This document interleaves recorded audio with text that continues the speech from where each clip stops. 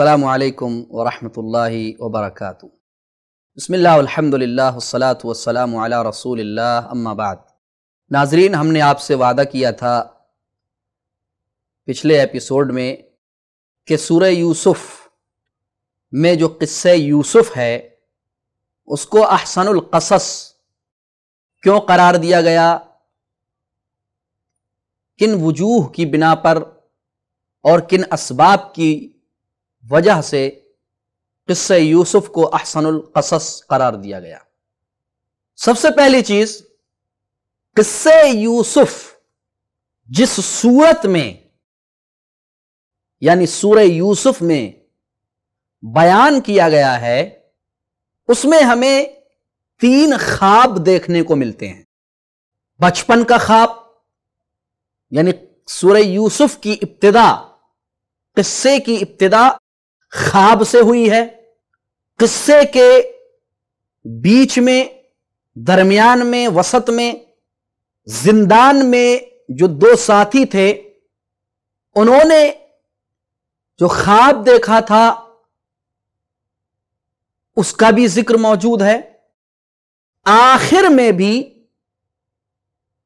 बादशाह के ख्वाब का ज़िक्र मौजूद है। और तीनों ख्वाब बड़े खूबसूरत हैं, बड़े अजीबो गरीब हैं।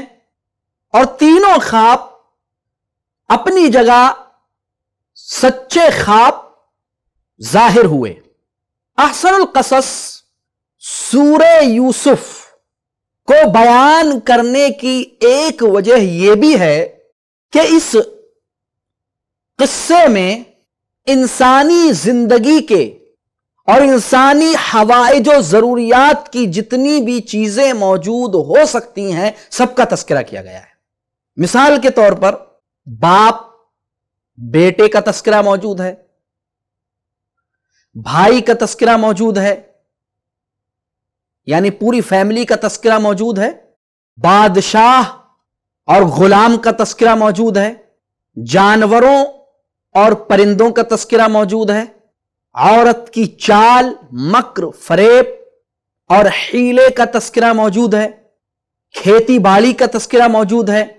गल्ले को किस तरह महफूज किया जाए, इसी तरह किस तरह से हुकूमत को चलाया जाए, इसी तरह वो कौन सा तरीका हो सकता है जिसको अपना करके इंसान जो माशी जराए हैं, उनकी तदबीर कर सकता है।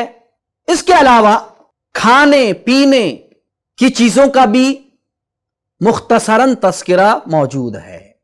बाज अहल इलम ने अहसनुल कसस का एक और सबब बयान किया है कि सूरह यूसुफ में जो हज़रत यूसुफ अलैहिस्सलाम के किस्से का तस्करा किया गया है, उसकी तरतीब तनसीक बलागत बड़ी खूबसूरत है। अब आइए हम आपके सामने किस्से यूसुफ को रखते हैं और उससे इबरत, नसीहत, सबक और दर्स हमें क्या मिलता है उसको अखज करते हैं। अल्लाह रब्बुल आलमीन ने सूरह यूसुफ के अंदर इरशाद फरमाया, नहनु नकुस्सु अलैका अहसनल कससी। बिमा अवहैना इलैका हादल कुरआन व इन कुंत मिन कबल ही लमिनल गाफिलीन अल्लाह रब्बुल आलमीन फरमाता है कि हम आप पर ऐ हमारे प्यारे हबीब जनाब मोहम्मद अरबी सल्लल्लाहु अलैहि वसल्लम हम आप पर बेहतरीन किस्सा बयान कर रहे हैं यह किस्सा जो हम आप पर बयान करते हैं दरअसल इस कुरान के अंदर हम उसकी आपकी तरफ़ वही करने जा रहे हैं। इन कुन तमिन कबल ही लमिनल गाफिलीन। गर्चे इससे पहले आप इस किस्से से वाकिफ नहीं थे। एक बहुत अहम बात की तरफ़ मैं इशारा करता चलूँ कि नबियों और रसूलों के किस्सों का सबसे बेहतर मसदर और सबसे अव्वल पहला मसदर कुरान है। जैसा कि अल्लाह ने खुद कहा कुरान. नबियों और रसूलों के किस्से की तस्दीक, सच्चाई और हकीकत को अगर आपको जानना है तो सबसे पहले आप कुरान की तरफ़ रुजू करें। किसी भी नबी के बारे में अगर आप कहीं सुने तो सबसे पहले आप उस सुनी हुई बात को कुरान में देखें कि मौजूद है कि नहीं। है क्या वो किस्सा, वो स्टोरी जो बयान की जा रही है, वो कुरान में मौजूद है कि नहीं है? क्योंकि कुरान सबसे पहला मजदर है। दूसरा मसदर अल्लाह के नबी जनाब मोहम्मद रसूलुल्लाह सल्लल्लाहु अलैहि वसल्लम की प्यारी अहादीस मुबारक हैं। आप वहाँ रुजू कीजिए, अहादीस की किताबों में रुजू कीजिए। क्या यह किस्सा फला नबी का किस्सा या फला नबी का वाकया फला रसूल का वाकया जब आपको कुरान में नहीं मिला तो अब आप कुतुब अहादीस की तरफ़ रुजू कीजिए। शायद वहाँ आपको मिल जाए। अब आगे आप उसकी तहकीक कीजिए कि वो हदीस सही है या ज़रीफ है, वगैरह वगैरह। तीसरा मसदर नबियों और रसूलों के किस्सों की हकीकत की मारिफत का जानने का इसराइली रिवायात हैं। अहले किताब की जो किताबें हैं, उनकी तरफ़ रुजू कीजिए। लेकिन याद रहे, इसराइली रिवायात के ताल्लुक से अल्लाह के नबी सल्लल्लाहु अलैहि वसल्लम की हदीस की तरफ़ भी हमें तवज्जो देने की ज़रूरत है। अगर इसराइली रिवायत, अहले किताब की कोई रिवायत कुरान और हदीस की मुआफ़त में हो तो उसकी तस्दीक की जाएगी, क्योंकि उसकी तायद कुरान और हदीस में मौजूद है। अगर कुरान और हदीस के अंदर उसकी मुखालफत पाई जाती है तो इसराइली रिवायात को नहीं लिया जाएगा, उसको किनारे कर दिया जाएगा, साइड कर दिया जाएगा। लेकिन मसला, अगर ना तो कुरान हदीस इसराइली रिवायत की तस्दीक में है और ना ही तकजीब में है कि उसको झुटला रही हो। ऐसा भी नहीं है तो अब क्या करना है? यानी कुरान हदीस ने सुकूत इख्तियार किया हुआ है, खामोशी इख्तियार की हुई है। ना तो तस्दीक में है इसराइली रिवायात के और ना ही तकजीम में है। तो ऐसी सूरत में हदीस को बयान तो कर दिया जाएगा, यानी इसराइली रिवायात को बयान तो किया जाएगा, लेकिन आप उस पर सौ फ़ीसद यकीन नहीं कर सकते। अल्लाह आलम।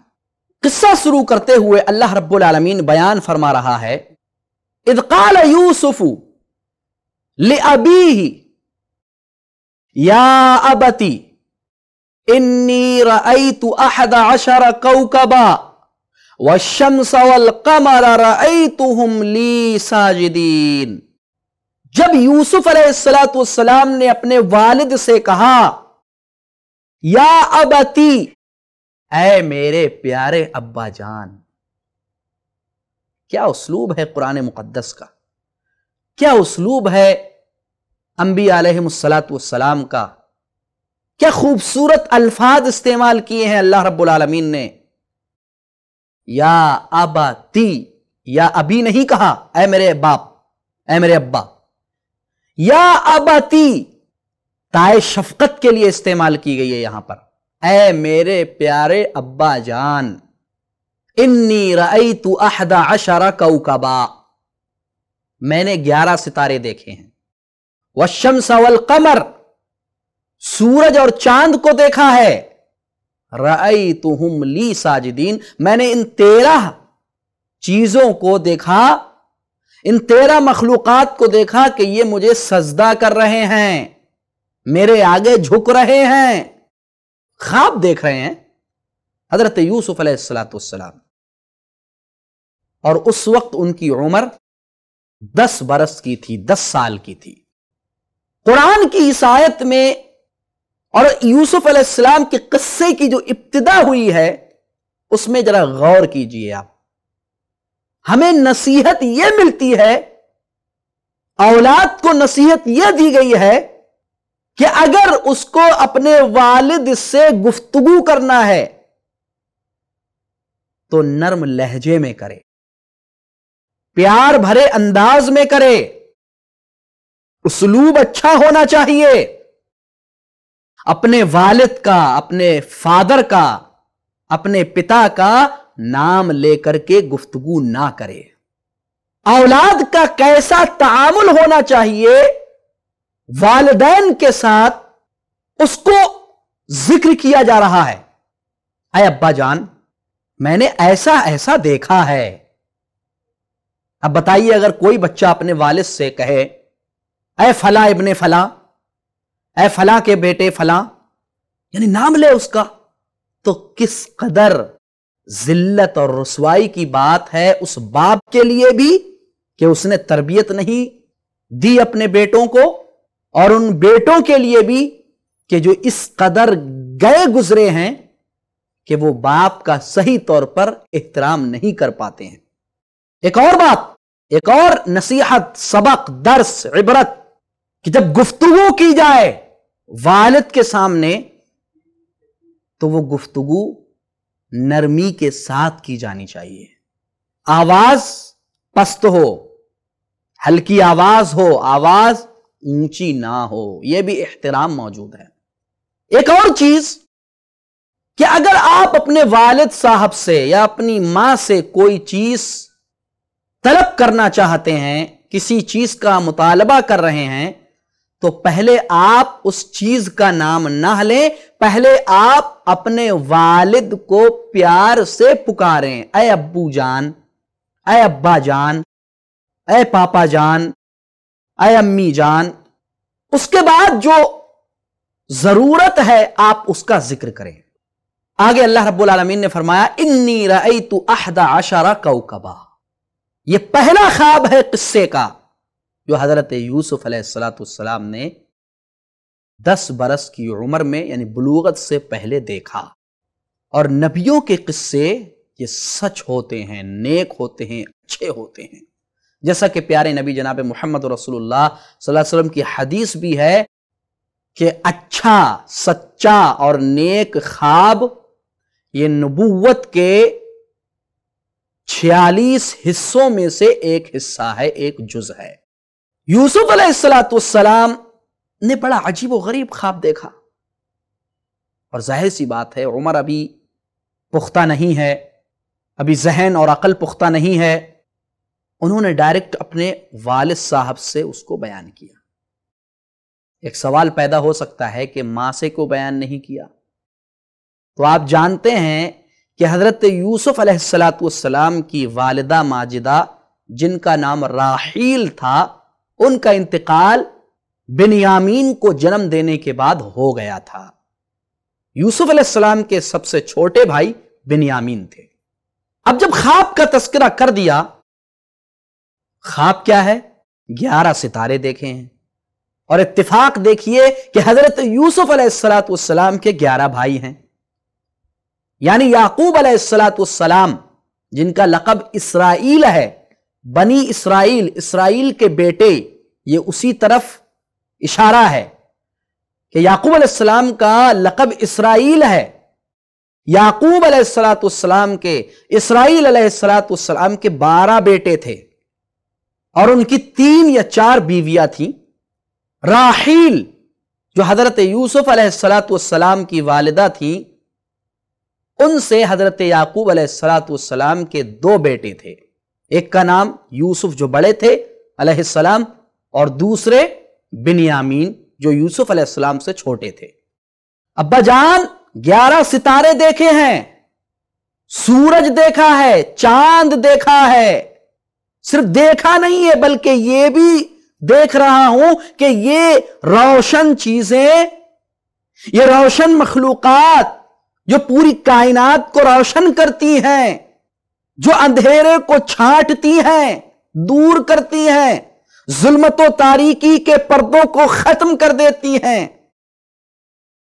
इन तेरह मखलूकत को मैंने देखा कि मुझे सजदा कर रही हैं। यह बहुत बड़ी बात है। ग्यारह सितारे कौन हैं? ग्यारह भाई। सूरज और चाँद कौन है?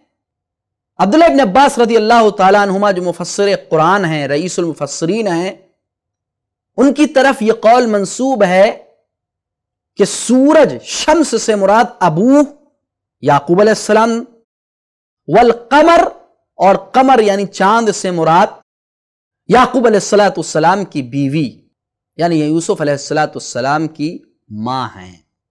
लेकिन एक बात यह भी है कि यूसुफ अलैहिस्सलाम की जो माँ है, उनका तो इंतकाल हो गया है। अगर इस ख्वाब की जो ताबीर सामने आएगी तो वो किस तरह आएगी?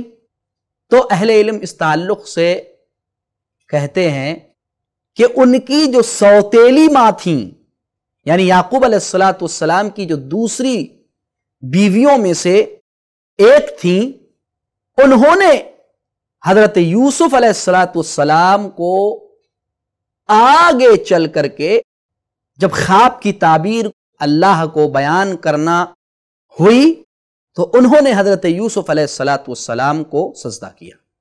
इंशाला उसका ज़िक्र हम बाद में करेंगे। खैर, ख्वाब का तस्करा हो गया। एक बहुत प्यारी और इल्मी गुफ्तगु हम आपके सामने यहाँ करेंगे।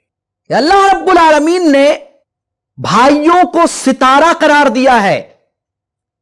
भाई, ये घर के तारे हैं और वालिद, ये घर का सूरज है। और माँ ये घर की चांदनी है। अगर घर के अंदर सूरज, चाँद और सितारे मौजूद हैं तो घर के अंदर रोशनी रहेगी। लेकिन अगर घर में फसाद पैदा हो गया, भाइयों के दरमियान, वालदेन के दरमियान फूट पड़ गई तो घर घर नहीं। वो फैमिली फैमिली नहीं।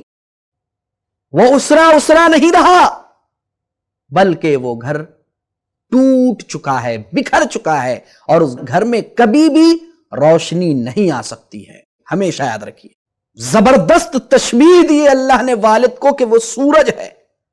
जिस तरह सूरज अपनी किरणों से ज़मीन को रोशन करता है, इसी तरह वालिद अपनी किरणों से, अपनी सख्ती से, अपनी हरारत और गर्मी से अपने बच्चों को ज़िंदगी जीने के आदाब सिखलाता है। ज़िंदगी में तरक्की करने के जो रास्ते हैं, जो तरीके हैं, जो मंजिलें हैं, उनको सिखलाता है। और माँ चांदनी है। जब तक घर के अंदर माँ है, चाँद है तो घर में शफकत है, नरमी है, मोहब्बत है मवद्दत है प्यार है मुस्कुराहट है तबस्सुम है सब कुछ है लेकिन अगर माँ नहीं है घर के अंदर अल्लाह की कसम वो घर टूटा हुआ घर दिखाई देता है। आ, क्या ज़बरदस्त तशबी अल्लाह ने दी है कुरान मुकद्दस में कि अल्लाह रब्बुल आलमीन ने बाप को सूरज करार दिया जो ख्वाब दिखलाया सूरज की शक्ल में और चाँद को माँ करार दिया। अल्लाह अकबर। आप अंदाज़ा लगा सकते हैं, अंदाज़ा कर सकते हैं। इसलिए, मेरे भाइयों, माँ और बाप ये घर के रोशनदान हैं, रोशनी देंगे आपको। नाजरीन, चूँकि हमारा वक्त ख़त्म हो चुका है इन हम मज़ीद गुफ्तु इसी किस्से के ताल्लुक़ से अपने अगले एपिसोड में आपके सामने पेश करेंगे। तब तक आपसे इजाज़त चाहते हैं। असलकम वरहमतुल्लाहि वबरकatuh ऐसे ही और वीडियोस बनाने में हमारी मदद करें।